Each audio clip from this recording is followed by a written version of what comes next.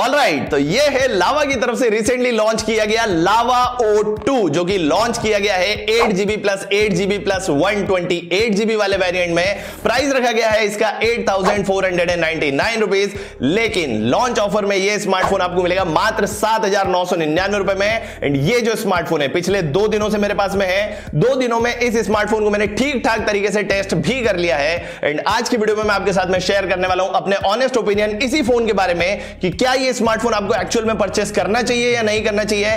क्या प्रॉस है क्या कौन से क्या अच्छाइयाँ हैं क्या खराबियाँ हैं सारी चीज़ डिस्कस करेंगे। बस रिक्वेस्ट आपसे इतनी है कि एंड ऑफ़ द वीडियो अगर आपको वीडियो अच्छा लगे तो प्लीज़ वीडियो को लाइक ज़रूर से कर देना। एंड चैनल पर अगर आप नए हैं चैनल को अभी तक सब्सक्राइब नहीं किया है एंड ऐसे ही कंटेंट में अगर आपका इंटरेस्ट है तो चैनल को सब्सक्राइब भी कर लेना। स्टार्ट करते हैं रिव्यू को सबसे पहले। बॉक्स कंटेंट की बात कर ले तो, तो बॉक्स में आपको तकरीबन सारी चीज़ें देखने के लिए मिलती है। बाहर से आपको कुछ भी चीज़ परचेस नहीं करनी पड़ेगी एक्सेप्ट दी स्क्रीन प्रोटेक्टर क्योंकि यहाँ पर आपको प्री अप्लाइड स्क्रीन प्रोटेक्टर नहीं दिया गया है तो स्क्रीन प्रोटेक्टर आपको बाहर से परचेस करना पड़ेगा, बाकी सारी चीज़ें आपको बॉक्स में मिल जाती है। बात करेंगे फ़ोन के बिल्ड क्वालिटी एंड डिज़ाइन की तो भाई साहब ten on ten build quality and design यहाँ पर आपको मिलता है। फुल ग्लास बिल्ड दिया गया है। ग्लास बैक है ग्लास फ्रंट है एंटी ग्लेयर मैट ग्लास पीछे की तरफ़ मिलता है। मैट फिनिश है तो फिंगरप्रिंट के निशान आते हैं, लेकिन विजिबल नहीं रहते हैं। जो कैमरा आइलैंड है, वो ग्लॉसी फिनिश के साथ में आता है, जहाँ पर फिंगरप्रिंट के निशान दिखते हैं भाई। लेकिन दिखने में स्मार्टफ़ोन बहुत अच्छा है। फ्लैट फ्रेम्स के साथ में फ़ोन दिया गया है। इन हैंड फील भी फ़ोन का काफ़ी अच्छा है वेट बैलेंस भी काफ़ी अच्छा है, बहुत ज़्यादा मोटा नहीं है, बहुत ज़्यादा हेवी वेट भी नहीं है इन हैंड फील फ़ोन का काफ़ी अच्छा है। So build quality price segment के हिसाब से दी बेस्ट आपको मिलती है। एंड डिज़ाइन की भी अगर बात करें भाई साहब गुड लुकिंग स्मार्टफ़ोन है, हमारे पास में पर्पल कलर है, इसके अलावा आपको ग्रीन कलर मिलता है गोल्ड कलर मिलता है। एंड ये जो कलर से दिखने में काफ़ी अच्छे हैं। ओवरऑल फ़ोन जो है बैक पैनल से काफ़ी गुड लुकिंग है। फ्रंट में भी आपको सेंटर पंचोल वाला डिस्प्ले यहाँ पर आपको मिलता है। हाँ बेजल्स आपको ठीक ठाक मिलते हैं चिन भी आपको ठीक ठाक साइज़ की मिलती है, लेकिन प्राइस सेगमेंट के हिसाब से बिल्ड एंड डिज़ाइन इस फ़ोन का बहुत तगड़ा है भाई। बिल्ड एंड डिज़ाइन में लावा ने बहुत सॉलिड काम किया है। टेन में से टेन मार्क्स इसको जाते हैं भाई साहब। बिल्ड एंड डिज़ाइन के मामले में सॉलिड स्मार्टफ़ोन है। बात करेंगे डिस्प्ले के बारे में तो 6.5 इंचेस का यहाँ पर आपको डिस्प्ले दिया गया है, जहाँ पर आपको एच प्लस रेजोल्यूशन मिलता है। आईपीएस एलसीडी पैनल दिया गया है 90 हर्ट्ज के रिफ्रेश रेट के साथ में। सबसे पहले कंटेंट वॉचिंग के एक्सपीरियंस की बात करें कलर्स यहाँ पर आपको अच्छे मिलते हैं व्यूइंग एंगल्स काफ़ी अच्छे दिए गए हैं। 720 पिक्सल्स वाला डिस्प्ले है तो डिटेल्स आपको उतनी ज़्यादा नहीं मिलती है, लेकिन प्राइस पॉइंट के हिसाब से कंटेंट वॉचिंग का एक्सपीरियंस आपका बढ़िया रहता है। डायनामिक रेंज डिस्प्ले की अच्छी है। वाइड वाइन L3 का सर्टिफिकेशन है तो Amazon, Netflix पर आप 540 पिक्सल्स में कंटेंट देख सकते हैं। लेकिन यूट्यूब पर आपको 1080 पिक्सल्स की स्ट्रीमिंग का सपोर्ट मिलता है एंड कंटेंट वॉचिंग का ओवरऑल एक्सपीरियंस काफ़ी बढ़िया रहता है। तो वहाँ शिकायत नहीं है। ब्राइटनेस की अगर बात करेंगे, तकरीबन 500 निट्स तक इस फ़ोन की ब्राइटनेस जाती है। इंडोर विजिबिलिटी बहुत अच्छी है। डायरेक्ट सनलाइट में भी जो डिस्प्ले है प्रॉपरली विजिबल रहता है। ज़्यादा आपको आँखें गड़ानी नहीं पड़ती है। तो ब्राइटनेस भी बढ़िया आपको मिल जाती है। एंड 90 हर्ट्ज का रिफ्रेश रेट दिया गया है, जो कि आपको काफ़ी स्मूथ फील भी कराता है। तो वहाँ भी कोई दिक्कत नहीं है। कोई जिटर्स नहीं आते, कोई जर्क्स नहीं आते हैं। ओवरऑल स्मूथ डिस्प्ले है। मेरे हिसाब से डिस्प्ले क्वालिटी प्राइस सेगमेंट को देखते हुए अच्छी है। कंटेंट वॉचिंग का एक्सपीरियंस अच्छा है ब्राइटनेस अच्छी है स्मूथनेस आपको मिल जाती है। तो डिस्प्ले क्वालिटी बढ़िया दी गई है। बात करेंगे परफॉर्मेंस के बारे में तो इस फ़ोन के अंदर दिया गया है यूनी एसओसी की तरफ़ से आने वाला टाइगर टी प्रोसेसर ये जो प्रोसेसर है ट्वेल्व नैनोमीटर पर बना हुआ प्रोसेसर है। हीटिंग का इशू हल्का फुल्का यहाँ पर मुझे देखने के लिए मिला। ओवर नहीं है, थोड़ा सा फ़ोन गर्म होता है, जब मैंने इसमें back to back test run किए थे तो जो फ़ोन है थोड़ा सा गर्म हुआ था। हालाँकि अब गर्मी का मौसम भी चालू हो गया है तो थोड़ा सा हीटिंग का इशू आपको देखने के लिए मिल सकता है, लेकिन ओवर मुझे देखने के लिए नहीं मिली। सीपीयू थ्रॉटल टेस्ट भी मैंने इसके अंदर बैक टू बैक तीन बार रन करके देखा था एंड अप्रोक्सीमेटली 80 टू 85 परसेंट की परफॉर्मेंस पर थ्रॉटल करता है which is not bad thermal management ठीक ठाक यहाँ पर आपको मिल जाता है। एंटूड भी मैंने बैक टू बैक तीन बार रन किया था, जहाँ पर दो लाख चौरानवे हज़ार के आसपास स्कोर्स निकल के आते हैं, जो कि बहुत अच्छे हैं प्राइस सेगमेंट के हिसाब से आठ हज़ार का फ़ोन, दो लाख चौरानवे हज़ार के आसपास एंटूड स्कोर देता है भाई। परफॉर्मेंस आपको अच्छी मिलेगी। गीक बेंच के भी स्कोर्स यहाँ पर आप देख सकते हैं। काफ़ी प्रॉमिसिंग स्कोर्स निकल के आते हैं। तो बेंचमार्क पर तो ये फ़ोन बढ़िया परफॉर्म करता है। लेकिन प्रैक्टिकल लाइफ की अगर बात करें तो normal day to day life में तो कोई दिक्कत नहीं भाई साहब। ये जो फ़ोन है, कहीं भी नहीं अटकता है। चाहे आपको सोशल मीडिया स्क्रॉल करना हो, चाहे आपको कॉल्स करने हो, चाहे आप कुछ भी करें भाई, ये जो फ़ोन है, कहीं भी अटकता नहीं है। बढ़िया तरीके से काम करता है। साथ ही साथ यहाँ पर आपको एट जीबी की एलपीडीडीआर फोर एक्स रैम दी गई है। रैम मैनेजमेंट बहुत अच्छा है। मैक्सिमम एप्लीकेशन जो है, वो रैम में बनी रहती है। रैम मैनेजमेंट काफ़ी एग्रेसिव यहाँ पर आपको मिलता है। साथ ही साथ यूएफएस 2.2 वाला स्टोरेज दिया गया है तो रीड राइट की स्पीड भी आपको अच्छी मिल जाती है। And app opening and closing का टाइम भी काफ़ी फास्ट है। साथ ही साथ एनिमेशन वगैरह भी बढ़िया काम करते हैं। तो ओवरऑल परफॉर्मेंस की बात करें परफॉर्मेंस यहाँ पर आपको बहुत अच्छी मिलती है। प्राइस सेगमेंट के हिसाब से डे टू डे की परफॉर्मेंस में आपको शिकायत नहीं आती है। गेमिंग की अगर बात करें तो गेमिंग का एक्सपीरियंस भी यहाँ पर आपको ठीक ठाक मिल जाता है। बीजीएमआई मैंने इसके साथ में खेल करके देखा।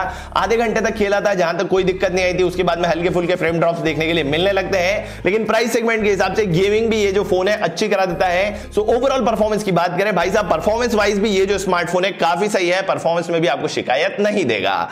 बात करेंगे कैमरास के बारे में तो दो कैमरास का सेटअप पीछे की तरफ़ दिया गया है। 50 मेगापिक्सल्स का प्राइमरी कैमरा है, साथ ही में एक एआई लेंस दिया गया है। सेल्फी कैमरा की अगर बात करें तो फ्रंट में आपको 8 मेगापिक्सल्स का सेल्फी कैमरा मिलता है।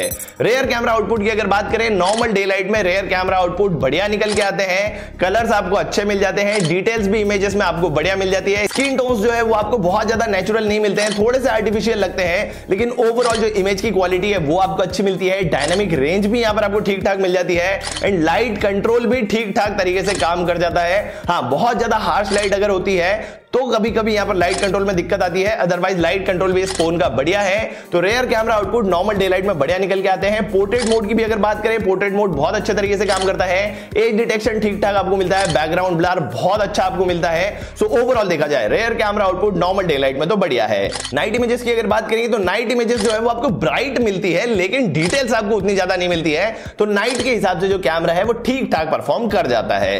बात करेंगे सेल्फी कैमरा के बारे में तो सेल्फी कैमरा ने थोड़ा सा मुझे डिसअपॉइंट किया भाई, क्योंकि यहाँ पर जो इमेजेस निकल के आती है, काफ़ी इनकंसिस्टेंट मुझे लगी भाई, क्योंकि कभी तो स्क्रीन टोन्स बहुत अच्छे निकल के आते हैं, कभी ओवर सैचुरेटेड हो जाते हैं, कभी वार्म टोन पर चले जाते हैं। तो थोड़ी सी व्हाइट बैलेंस की दिक्कत यहाँ पर आपको देखने को मिलती है। एंड डिटेल्स आपको सेल्फीज में ठीक ठाक देखने को मिलती है। अच्छी लाइटिंग कंडीशन रहेंगी तो अच्छी डिटेल्स रहेंगी। थोड़ी भी लो लाइट कंडीशन रहती है तो डिटेल्स आपको उतनी ज़्यादा नहीं मिलती है। तो सेल्फी कैमरा मेरे हिसाब से ठीक ठाक परफॉर्म करता है।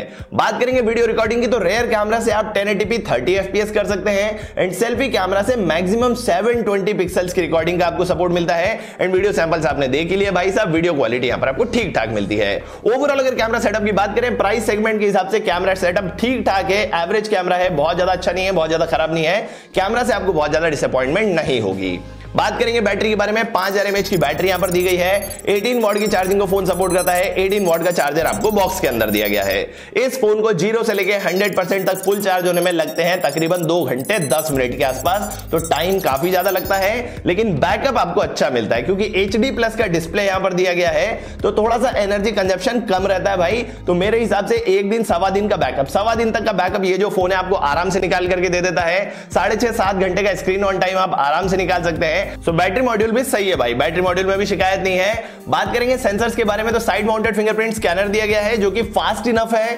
फेस अनलॉक आपको मिलता है, जो भी ठीक ठाक तरीके से काम कर जाता है तो वहाँ भी दिक्कत नहीं है। बाकी सेंसर्स की अगर बात करेंगे तो लिमिटेड सेंसर्स यहाँ पर आपको मिलते हैं। जायरोस्कोप यहाँ पर नहीं दिया गया है। तो अगर आप एक जायरो प्लेयर है तो ये फ़ोन आपके काम का नहीं है। लिमिटेड सेंसर्स के साथ में आता है ठीक ठाक तरीके से काम करते हैं। बात करेंगे स्पीकर के बारे में तो सिंगल स्पीकर यहाँ पर आपको मिलते हैं। बॉटम फायरिंग स्पीकर दिए गए हैं, लेकिन सिंगल स्पीकर होने के बावजूद लाउडनेस यहाँ पर आपको काफ़ी बढ़िया मिलती है। एंड सरप्राइजिंगली डिटेल्स भी यहाँ पर आपको अच्छी खासी मिल जाती है। तो स्पीकर आउटपुट मुझे इस फ़ोन का बढ़िया लगा। ओवरऑल जो मल्टीमीडिया एक्सपीरियंस है प्राइस पॉइंट के हिसाब से आपको बढ़िया मिल जाता है। तो वहाँ आपको शिकायत नहीं आती है। सॉफ्टवेयर की अगर बात करेंगे, ये जो स्मार्टफ़ोन है out of the box Android 13 पर दिया गया है। लेकिन एंड्रॉइड 14 का गारंटीड अपडेट यहाँ पर आपको देखने को मिलेगा। सॉफ्टवेयर की अगर बात करें, कोई भी ब्लोटवेयर नहीं है, कोई एड्स नहीं आते हैं, कोई यूआई लैग्स आपको नहीं मिलते हैं। स्मूथ एक्सपीरियंस है भाई साहब सॉफ्टवेयर बढ़िया तरीके से काम करता है एनिमेशन वगैरह सारे सही हैं तो वहाँ भी आपको शिकायत नहीं आती है। साथ ही साथ आपको फीचर्स मिल जाते हैं ऐप लॉक मिलता है डुअल ऐप्स यहाँ पर आपको मिल जाता है,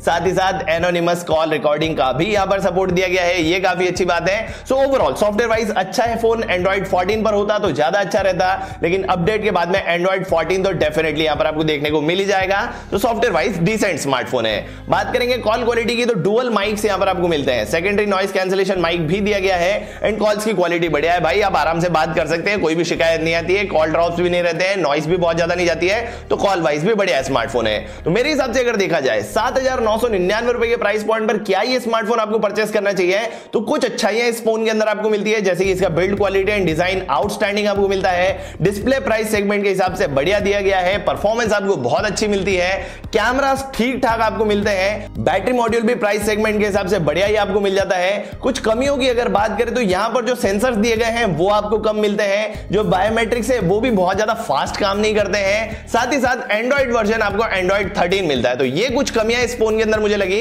लेकिन ओवरऑल अगर देखा जाए 8000 के प्राइस पॉइंट पर परफॉर्मेंस वाइज अगर आपको देखना है तो ये जो स्मार्टफ़ोन है डेफिनेटली परचेस किया जा सकता है। अपनी परचेस को आप रिग्रेट तो डेफिनेटली नहीं करेंगे। लेकिन आप मेरे को कॉमेंट करके बताना भाई कि आपके क्या विचार है इस फ़ोन के बारे में? कैसा लगा आपको ये स्मार्टफ़ोन कैसा लगा हमारा रिव्यू क्या ये स्मार्टफ़ोन आप परचेस करना पसंद करेंगे? कॉमेंट करके अपनी राय ज़रूर से बता देना वीडियो अगर अच्छा लगा है तो प्लीज़ वीडियो को लाइक ज़रूर से कर देना, अपने दोस्तों के साथ शेयर कर देना। चैनल को अगर आपने अभी तक सब्सक्राइब नहीं किया गाइस तो प्लीज़ मेक श्योर की आप चैनल को सब्सक्राइब करें। बेल नोटिफिकेशन आइकन को प्रेस करें ऑल वाला ऑप्शन ज़रूर से सिलेक्ट करें ताकि हमारे फ्यूचर वीडियोस के नोटिफिकेशन पहुँचे आपको तुरंत से। This is Yash signing off bye